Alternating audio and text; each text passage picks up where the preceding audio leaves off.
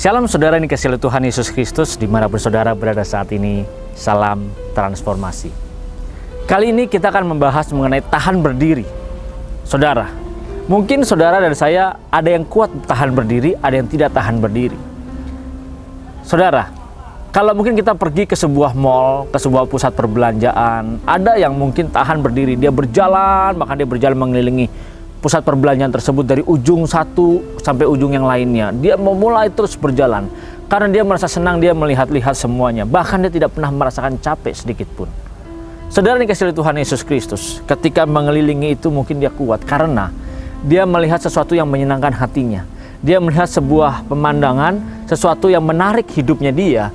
Entah itu mungkin alat elektronik, entah itu mungkin baju, atau dia tas yang bermerek-merek yang membuat dia senang Saudara, hal-hal seperti ini yang menarik, hal-hal seperti ini ditawarkan di dunia ini, membuat kita terkadang mampu bahkan rela untuk berjalan berkeliling, bahkan rela berdiri berjam-jam hanya untuk menikmati semuanya itu yang dunia tawarkan. Saudara ini kasih Tuhan Yesus Kristus, bagaimana nanti kita, saudara dan saya, kita harus berdiri di hadapan Hakim yang agung, di hadapan Tuhan Yesus Kristus.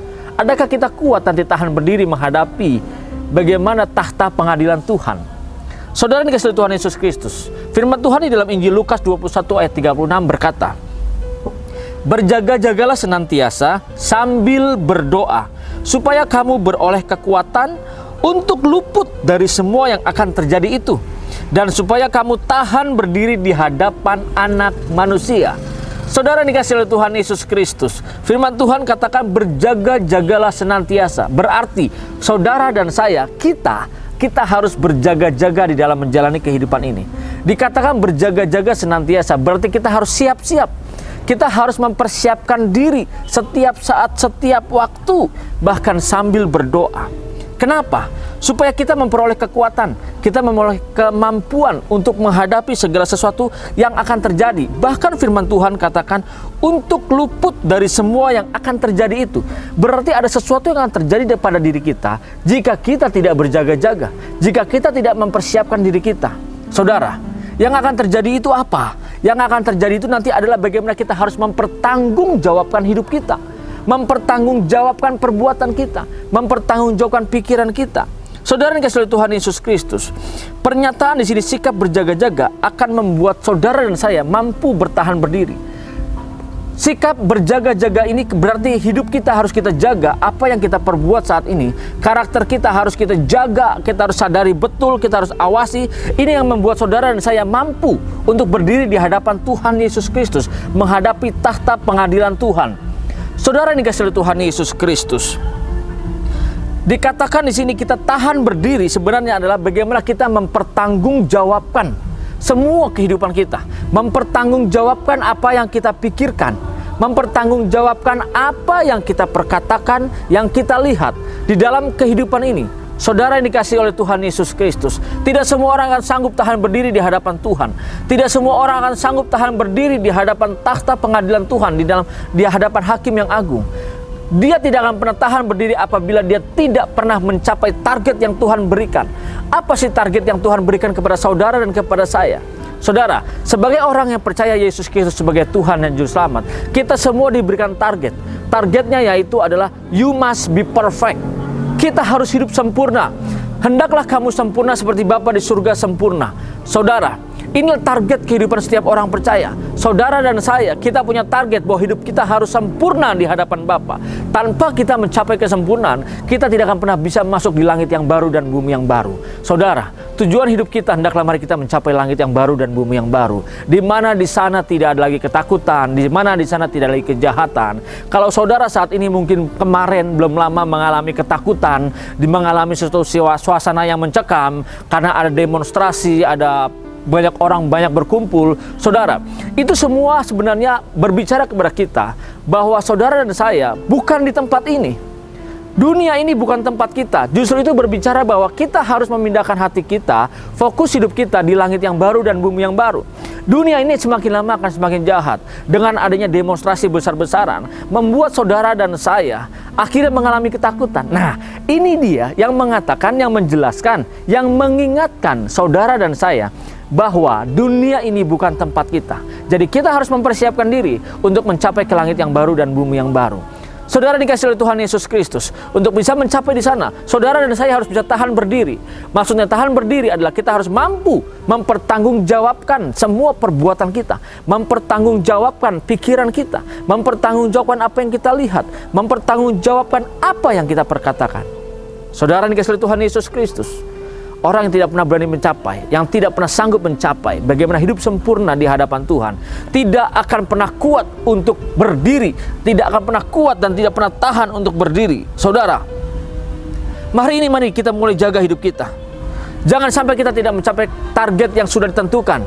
Saudara dan saya, dunia ini terus bergulir Dunia ini akan semakin lama semakin jahat. Kalau kita sudah melihat suasana bagaimana demonstrasi yang begitu besar, bagaimana ada kerusuhan, bagaimana ada penjarahan, suasana yang sangat mencekam, ini mengingatkan kepada kita. Mari Jangan lagi kita tertarik dengan semua tawaran dunia ini. Jangan lagi kita mulai mempersiapkan bagaimana kita akan bahagia dengan semua tawaran dunia ini.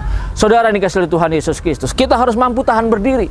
Kita harus mampu tahan berdiri berarti kita harus bisa mempertanggungjawabkan mulai setiap hari Ketika kita melek mata, apa yang kita lihat, apa yang kita pikirkan, apa yang kita perkatakan, apa yang kita lakukan, saudara. Ini yang harus kita pertanggungjawabkan. Jadi kita tidak bisa berkata nanti setelah kita mau mati, setelah kita tua baru kita bertobat, baru kita percaya kepada Tuhan. Ini suatu sikap yang sangat ceroboh.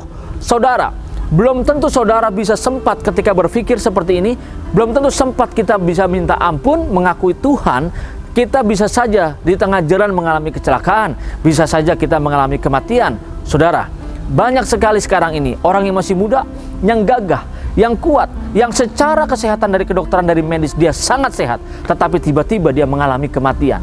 Saudara dikasih oleh Tuhan Yesus Kristus, semua itu membuktikan bahwa apa pun yang kita pikirkan saat ini harus kita pindahkan kalau kita berpikir bahwa nanti tunggu saja pada saat akhirnya setelah kita mau mengalami kematian baru kita bertobat.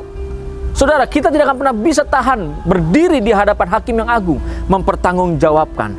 Kalau kita melihat masa penghakiman saat ini, semua mungkin ditanya satu persatu. Tapi nanti ketika kita berhadapan dengan hakim yang agung, saudara, semua apa yang kita lakukan akan terbuka. Semua yang kita perbuat akan terbuka. Mungkin saudara berkata, loh Kan kita sudah percaya Tuhan Yesus Kristus dan ada kuasa darah Tuhan Yesus Kristus yang menyucikan. Berarti saya suci dong, saya kudus dong. Berarti sebelum saya mati, ketika saya menerima Yesus Kristus sebagai Tuhan dan Juru Selamat, saya minta pengampunan, minta pengudusan dengan kuasa darah Tuhan Yesus. Berarti saya tidak bersalah lagi. Saudara, Janganlah kita sesat.